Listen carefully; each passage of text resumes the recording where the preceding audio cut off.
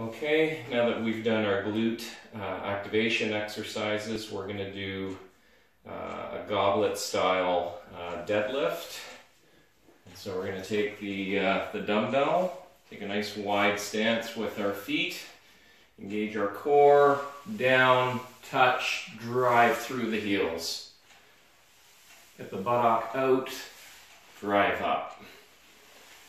You really feel this in the glutes and even a little bit of hammies because we're working kind of our extensors, bigger muscles that help help offload the lower back, the tiny muscles in the lower back. Drive straight up.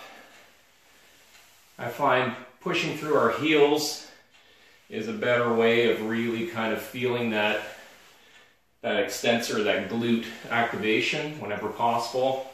We're feeling it in the uh, in the toes, we're rolling forward, we're going to get it more in the quads, and that's not what we want. All right, thank